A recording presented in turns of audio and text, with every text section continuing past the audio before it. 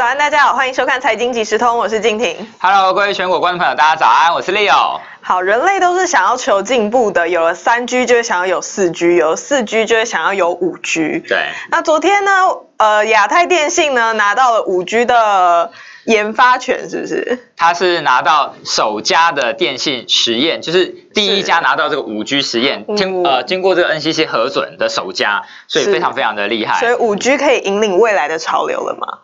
五 G 现在还在实验当中，它还需要一些基础建设嘛。那到预计到二零二零年，它正式做一个商转的动作，所以现在是我们可以提早布局相关的是五 G 的一些概念股。所以，我们今天就要跟各位投资朋友介绍，到底哪些是值得我们去做一个进场布局的动作？它概念股有哪些呢？那四 G 跟五 G 到底差别差在哪里？是那这个是呃，我们这个亚太电信嘛，它抢到第一家的五 G 实验网。那亚太电信大家都知道，它是红海旗下的公司嘛，是所以这一次是有海亚太电信、红海跟交大这三个单位一起合作来做一个五 G 的实验。它为了它主要目的就是为了要布局抢先布局二零二零年的一个五 G 商转的一个商机市场好，对对，那我们来看一下。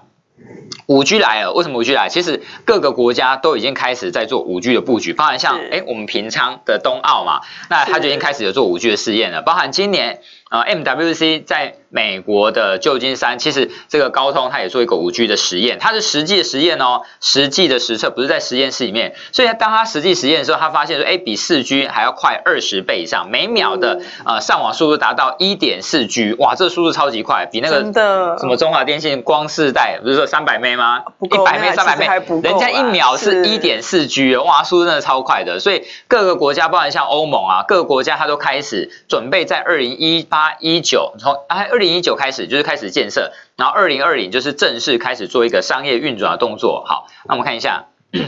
为什么要进化到五 G？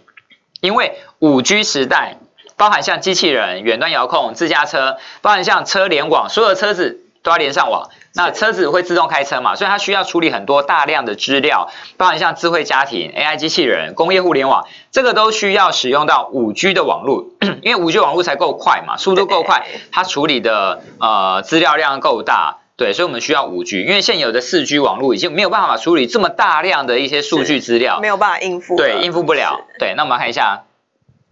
四 G 跟五 G 的差异在哪里？以前我们都知道嘛，我们的网络上网的速度快跟慢，就是在于我们这个呃频宽大小。对，那四 G 现在频宽是比较小，大家觉得说上网很塞嘛，是所以大家喜欢说无线上网吃到饱啊，然后什么四九九之乱，大家抢的跟什么一样，但是大家都往那个地方抢，那地方反而会变得更塞嘛。是那为什么以前不用五 G？因为五 G 它属于高频，它高频段，高频段它的那个波长比较短，它是属于毫米波，所以毫米波波长短，所以这种的呃波长它的穿透力会比较差，那它涵盖的范围，讯号涵盖范围会比较的小，所以这时候呢，我们就必须要使用大量的基地台。来就是把这个不足的讯号补足。可是虽然五 G 有这些缺点，但是五 G 它的频宽是非常非常的大的，所以代表说它联网的速度也会非常非常的快。所以这个就是四 G 跟五 G 最大差异。所以我们从这边也可以衍生出相关的商机。既然我们知道它的波长短嘛，那它就需要很大的基地台，所以我们就需要哎基地台的商机。在基地台上面，以前的基地台它是比较大的，对因为我们看到那个很多屋顶上面，什么加油站啊、民宅上面很多一只一只的那一根一根的基地台，然后插密密麻麻的。未来因为我们这个五 G 的波长短，所以它天线也会比较短，所以基地台上面的天线数量会增加，所以基地台的天线也是商机。在基地台还有包含手机。都会需要功率放大器，就是把这个讯号放大，然后再推出去嘛，所以功率放大器的需求也会存在。再来是将来万物联网嘛，所有东西都要连上网，它必须要透过这个网络交换器，所以网络交换器的容量跟需求它也会越来越增加，所以这个是未来的基本我们现在就可以看到的商机。是好，那我们看一下相关的潜力股，包含像微型基地台嘛，微型基地台包含像这个中磊、启基、智易、正文嘛这几家，其实像那个中磊跟启基，其实它我们看去年 EPS 都赚五块钱左右，其实获利是蛮不错的。对，那我们看一下那个天线的。哦，微型基地海还有另外几家，像这个友讯，友讯昨天涨停板嘛，那虽然它去年是赔钱的，但股价在低档，不然像这个和勤、台阳嘛，所以它看起来也是一个不错的标的。好，那我们看一下那个天线的部分，天线部分像这个森达科，还有这个三四一九的这个华域，其实这两档股票蛮有意思，一个是三四九，一个是三四一九，就是那个数字就是排列组合而已。但是森达科业绩是比较好的，你看它去年 EPS 是三点六亿元，三点六亿元，所以看起来森达科是比较有机会的，就是关于天线相天线相关的概念股。是好，那么看一下。